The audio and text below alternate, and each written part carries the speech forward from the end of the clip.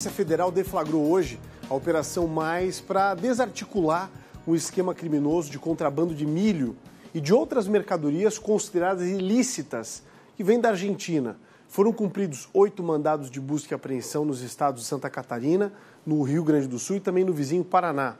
Durante as buscas, uma pessoa foi presa em flagrante por posse de arma de fogo ilegal. Foram apreendidos ainda documentos, computadores, celulares, uma pistola com numeração raspada e munições. Os investigados vão responder por crimes de contrabando, falsidade ideológica, organização criminosa e as penas podem chegar a 18 anos de prisão. Duvido que alguém cumpra todo esse tempo. Parabéns à polícia por mais uma ação.